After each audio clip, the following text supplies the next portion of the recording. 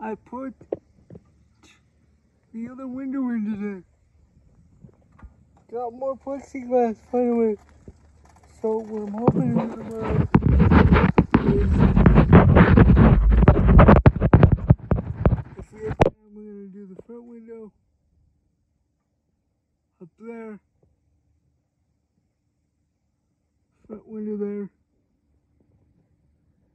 And next week we will do the other two side windows. But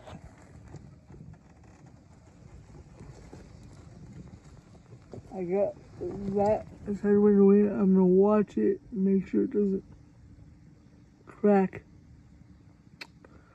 So, peace out.